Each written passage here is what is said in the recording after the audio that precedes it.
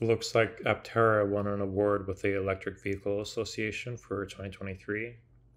They won the EV Business of the Year.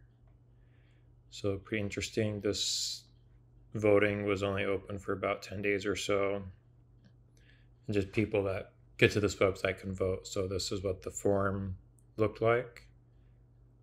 So, they just put in their best business to put in Aptera. So, enough people did that and they won.